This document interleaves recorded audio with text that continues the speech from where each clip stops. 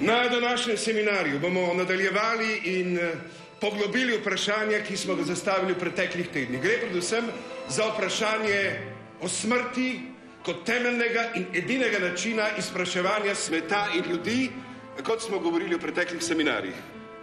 Ej. Stopila si v predavalnico mojega življenja. To pot Predvege smaj.